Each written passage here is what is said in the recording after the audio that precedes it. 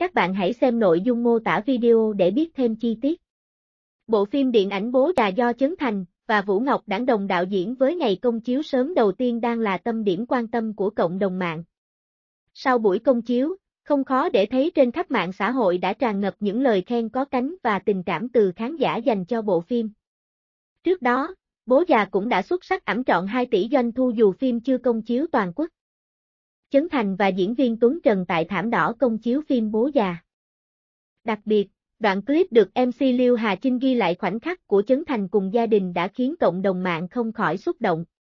Cụ thể sau khi phim Bố già kết thúc, Chấn Thành cùng đoàn làm phim đã gửi lời cảm ơn đến các khách mời cũng như khán giả đã có mặt tại buổi công chiếu.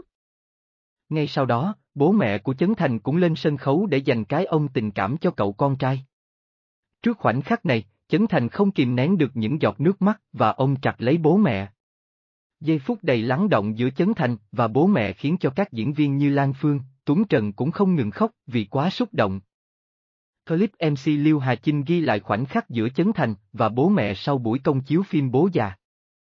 Chấn Thành vừa khóc vừa ôm chặt cha đẻ của mình. Khoảnh khắc xúc động giữa Chấn Thành và bố mẹ sau buổi công chiếu phim cũng khiến các diễn viên không ngừng rơi nước mắt.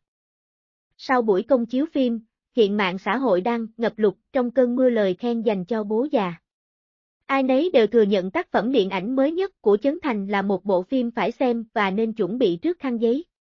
Với những yếu tố giản dị đậm chất đời thường được đan xen nhiều tình tiết hài bi đẩy mạnh mạch cảm xúc, bố già đã thực sự ăn điểm trong lòng số đông công chúng. Hiện phim điện ảnh Bố già vẫn đang tiếp tục có những suất chiếu sớm đến ngày 8 tháng 3 và chính thức ra mắt ngày 12 tháng 3 năm 2021. Ảnh tổng hợp